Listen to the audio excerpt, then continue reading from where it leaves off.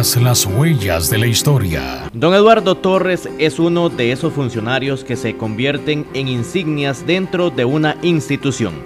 Llegó allá por 1968 al Ministerio de Obras Públicas y Transportes, un hombre que nació en 1947 en Ciudad Cortés de Osa. Él es nuestro invitado en Tras las Huellas de la Historia para el programa de este lunes 27 de marzo, un relato que nadie se puede perder de un hombre entregado a sus labores. Su infancia estuvo marcada por el trabajo, pero también por la dura situación de no contar con el apoyo de una madre. nosotros eh, siendo niños se murió mamá y, sufrimos eh, pues, eso, una familia que, que, crece sin mamá, éramos un montón de hermanos, ¿verdad? Éramos un montón de hermanos y entonces este, la vida para nosotros fue dura, a pesar de que papá nunca nos abandonó.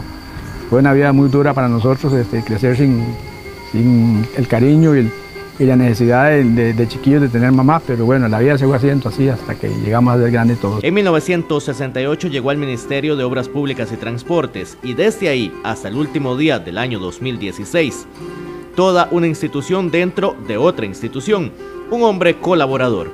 Recuerdos son muchos, ¿verdad? Son muchos y hay buenos, hay, hay frustrantes y hay grandes alegrías el, el MOP para mí fue la, mejor entidad que, pudo tener este país, porque antes de hacer una escuela, antes de hacer una iglesia, antes de colocar un acueducto, antes de colocar una línea eléctrica, tenía que haber un camino. Y todos esos caminos eh, eran hechos por el MOP. Antes no existían no existían muchas instituciones que existen ahora. El MOB hacía la, famosa Casa Barata. Siempre buscó las buenas relaciones con las comunidades. Eh, yo tuve muy buena relación con las comunidades, este, excelente comunicación. Tengo grandes amigos en, en, la zona sur, porque a mí me tocó trabajar en la zona sur. Eh, pero tengo más amigos en Pérez de León y, tengo muchos en el Cantón de Buenos Aires. Eh, eh, a veces era una alegría uno encontrarse con, gente que, que, por lo menos había la oportunidad de oírlos.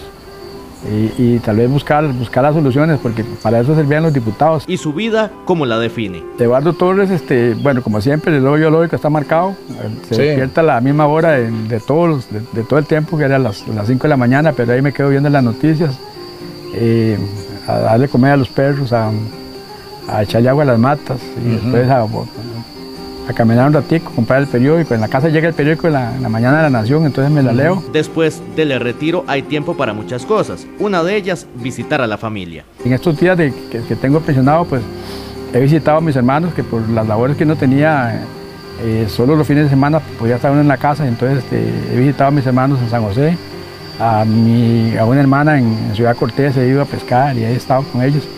Eh, he visitado a mi hermana de Buenos Aires, que ahí viví dos años, que ha estado medio enferma y entonces ahí a menudo es la que más cerca me queda. Don Eduardo Torres, invitado entre las huellas de la historia, lunes 27 de marzo a las 5 de la tarde y el viernes 31 de marzo a las 8 de la noche, solo por Televisora del Sur, Canal 14.